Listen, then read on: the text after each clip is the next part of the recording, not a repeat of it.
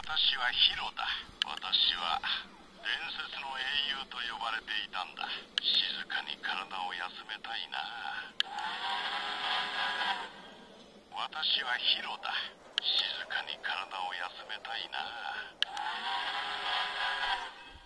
私はヒロだ。私は伝説の英雄と呼ばれていたんだ。私はヒロだ。わは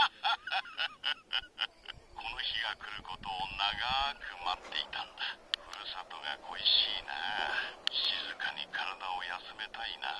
私は蘇道島に来た。初めての機関車なんだ。この日が来ることを長く待っていたんだ